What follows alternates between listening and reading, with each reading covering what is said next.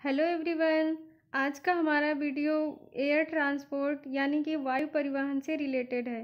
तो चलिए फ्रेंड्स, बात करते हैं हम वायु परिवहन के बारे में। फ्रेंड्स, क्या आप जानते हैं देश में परिवहन के इस साधन का विकास सन 1911 ईस्वी में हुआ था, तथा सन 1932 ईस्वी में टाटा द्वारा चेन्नई से कराची के लिए प्रति सप्ताह वायु परिवहन सेवा चालू की गई थी। 1934 में इंडियन नेशनल एयरवेज कंपनी बनाई गई।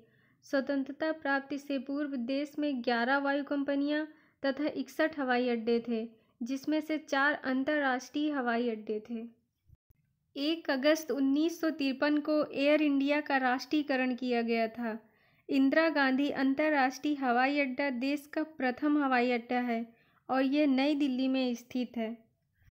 थैंक यू फ्रेंड्स अगर आपको हमारा वीडियो अच्छा लगा तो प्लीज़ वीडियो को लाइक करें एंड शेयर करें।